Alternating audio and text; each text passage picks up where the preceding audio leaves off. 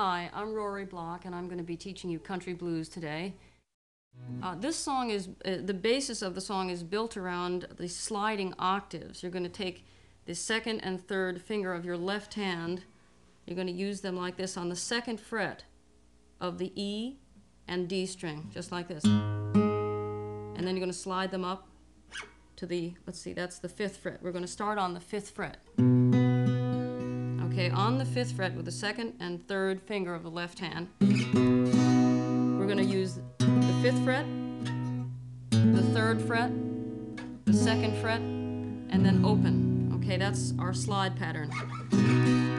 Let me play it for you one time and then I'll explain the strumming.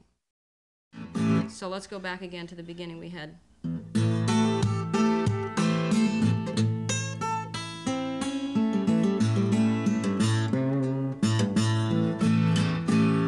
Okay, we're starting on the fifth fret. Let's check that. Anyway, we have the first finger barred across the B string and the E string. We're on the fifth fret, and then we're going to hammer on onto the B string with the second finger onto the sixth fret. And I'm going to pluck that those two notes with the, the first and second fingers of my right hand. So we're going. That same hitting that we did on Moons going down, we're going to start with an E and an A.